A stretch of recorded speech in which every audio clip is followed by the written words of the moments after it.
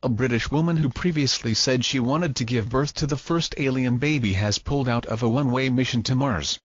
Maggie Lieu, 24, an astrophysics PhD student, was one of five Britons shortlisted for the Mars One mission, which aims to send people to live, and die, on the Red Planet.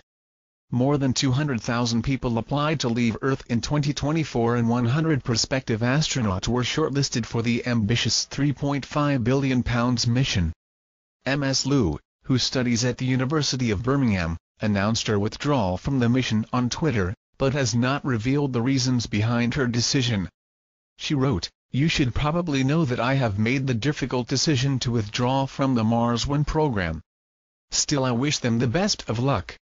Ms. Lieu had previously said it would be a privilege to be the first woman to give birth on Mars, which would make her baby a Mars